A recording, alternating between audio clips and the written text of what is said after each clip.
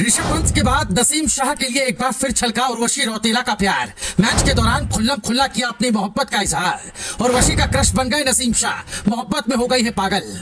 Pakistan Bharat match का मुकाबला तो निकल कर सामने न आ सका, लेकिन इस मैच में उर्वशी रोटेला ने नसीम शाह के लिए कुछ ऐसा कर दिया, जिससे एक दफ़ा फिर उन दोनों की बातें सोशल मीडिया पर वायरल हो रही हैं। उर्वशी रोटेला ने एक दफ़ा फिर एक ऐसा स्टंट किया जिससे अब हर कोई उनका नाम नसीम शाह के साथ जोड़ रहा है। तो आखिर उर्वशी रोटेला ने इस बार ऐसा क्या किया, और भारतीय साफी उस पर अब क्या कह रहे हैं? आइए हम आपको वीडियो में ये सब दिखाते हैं।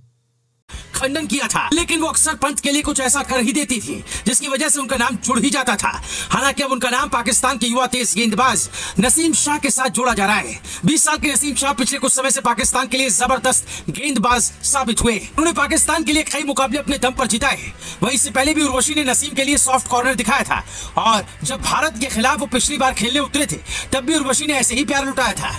अब जैसे ही उर्वशी ने एक बार फिर से नसीम शाह पर प्यार लुटाया, उसके बाद ट्विटर पर लोग तमाम तरीके की प्रतिक्रियाएँ दे रहे हैं। कोई कह रहा है कि पंत से दूरियाँ बढ़ जाने के बाद अब उर्वशी फिर से अपने प्यार को तलाश रही है तो कोई कह रहा है कि नसीम शाह उनका क्रश बन गए इसके अलावा तमाम लोगों का कहना है कि उर्वशी केवल पब्लिसिटी के लिए इस तरीके के हथकंडे अपना रही है।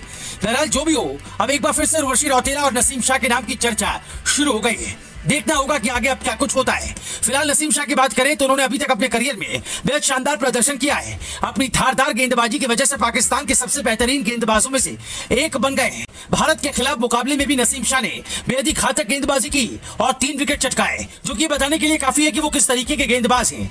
वही उर्वशी को लेकर उनकी बात करें तो पिछली बार जब उर्वशी ने नसीम के लिए प्यार दिखाया था तो नसीम शाह ने कहा था कि उन्हें नहीं जानते।